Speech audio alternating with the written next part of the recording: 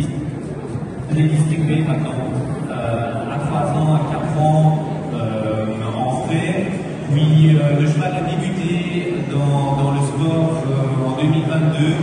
Il a effectué une très bonne saison de, de 5 ans. Il était notamment finaliste du championnat Fontainebleau, il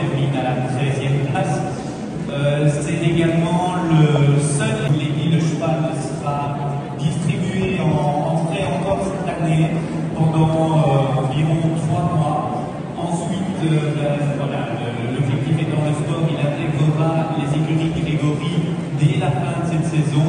Donc c'est une, quelque part un peu une des dernières chances de, disposer du, du cheval en.